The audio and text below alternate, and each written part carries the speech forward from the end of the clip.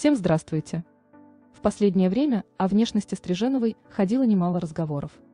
Народ отмечал изменения в облике звезды, которые якобы не пошли ей на пользу.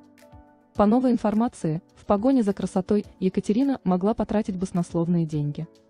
Недавно стали появляться сообщения о том, что Стриженова сделала некрасивые зубные протезы.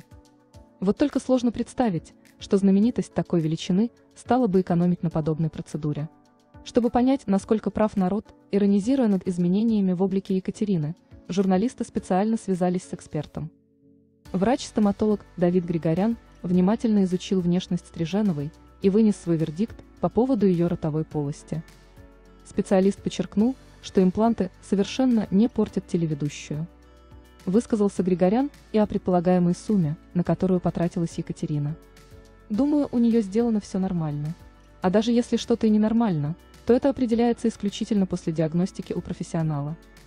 В целом, если взять максимальный вариант, протезирование будет стоить в районе 1 миллиона рублей, подчеркнул врач-стоматолог. Так что пусть народ и заявляет, что Стриженову теперь не узнать из-за имплантов, но эксперт в своем мнении уверен. Сама телеведущая, подчеркнем, никак не отреагировала на разговоры, которые упорно ходят вокруг ее персоны. Впрочем, Екатерина как раз известна тем, что старается держаться подальше от сетевых скандалов и просто так ни с кем в перепалке не ввязывается. Потому и в центре внимания Стриженова, как правило, попадает благодаря приятным поводам. Так, еще совсем недавно обсуждали свадьбу дочери Екатерины и Александра. Саша Стриженова не скрывала, что собирается вступить в брак со своим возлюбленным. Однако появление свадебных фотографий звездной наследницы в соцсетях стало для многих пусть и приятным, но шоком.